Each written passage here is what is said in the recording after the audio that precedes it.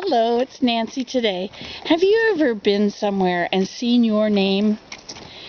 I am the only person with my name.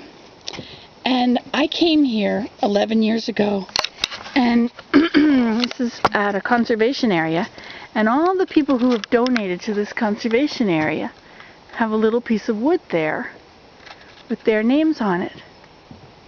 And when I was first here, I saw one with my name on it, my maiden name, and I've never ever seen my maiden name anywhere. Of course, later I did a search for it on Facebook to see if anybody else had my name, and there were a few. But I must say, that's one of the most fun things is when you see your own name. If, of course, your name is kind of rare. Somewhere where you don't expect it. Isn't that cool?